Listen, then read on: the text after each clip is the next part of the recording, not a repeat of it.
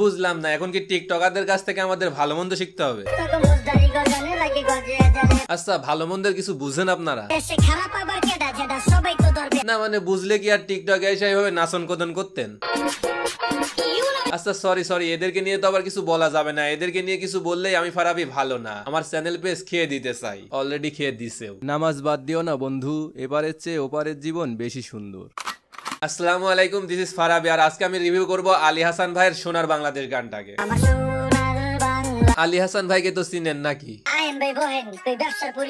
হ্যাঁ এই যে এই মানুষটা যে কিছুদিন আগে ব্যবসায় পরিস্থিতি গানটাকে পুরো বাংলাদেশ কাঁপাই দিছিল। আর গানটা এতটাই ভালো হয়েছিল যে পাবলিক এই গানটার প্রায় দশটা ভ্যারিয়েশন বাহির করছিল। যেগুলা সম্পর্কে টিকটকাররা একটু বেশি ভালো জানে কারণ তারা তো আবার একটা গানও বাদ দেয় না শুধু একটু ভাইরাল হতে পারে। যাই হোক আলী হাসান ভাই ব্যবসার পরিস্থিতি গানটা গিয়ে যেমন পুরো বাংলাদেশ কাঁপাই দিছিল তেমনি এবারও সোনার বাংলাদেশ গানটা গিয়ে পুরো দেশ কাঁপাই দিছে।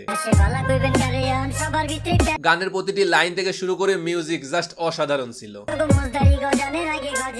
আমার কাছে সব থেকে ভালো লাগছে গানের ভিডিওটা।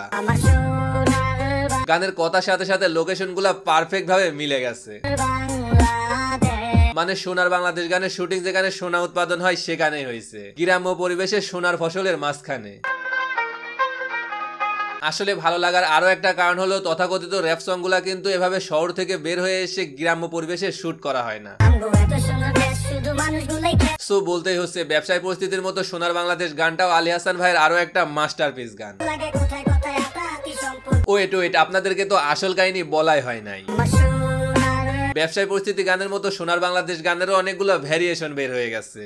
মানে নকল গান আর কি। আর এই অসম্ভবকে সম্ভব করাই না টিকটকারদের কাজ।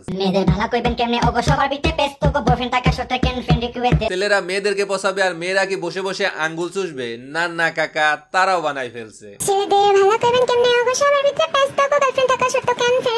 মানে আমি ঠিক বুঝলাম না। ফ্রেন্ড রিকোয়েস্ট কি শুধুমাত্র প্রেম করার জন্যই দেয়? যে গার্লফ্রেন্ড বয়ফ্রেন্ড থাকলে দেওয়া যাবে না। তাহলে তো ফ্রেন্ড লিস্টে একজনের বেশি দুইজন থাকবে না। এই জন্যই আমি বলি বাদ দেন ওরা টিকটকার এদের মাথায় ঘিলু কম গোবর বেশি থাকে। এক্সাম ভালো দিব কেমনে? আমি বই না পড়িলে। বাহ সুন্দর কথা তো। বাট এগুলা টিকটকে এসে না বলে একটু পড়াশোনা করলেই তো ভালো পরীক্ষা দেওয়া যায় তাই না? আচ্ছা ভালো পরীক্ষা দেবেন কেমনে? আপনারা তো স্কুল কলেজ বাদ দিয়ে টিকটক করেন আর পড়াশোনা তো অনেক দূরের কথা।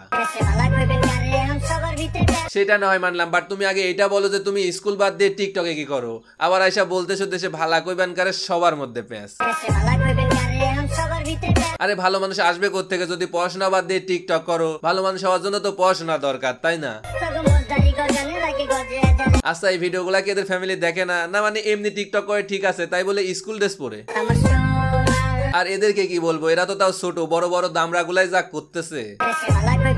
মানে ঘুম থেকে উঠেই শরীরে কড়া পোকা ঢুকে গেছে। কোন দিক দিয়ে ঢুকছে এটা বলব না। বাট ঢুকেই কামড়ানো শুরু করছে, তাই টিকটকে আইসা এইগুলা করতেছে। এত সুন্দর একটা গানটারে এবড়া থেবড়া বানানোর দায়িত্ব অনেকেই তার নিজ কান্দে তুলে নিছে। বিশ্বাস হচ্ছে না? Wait wait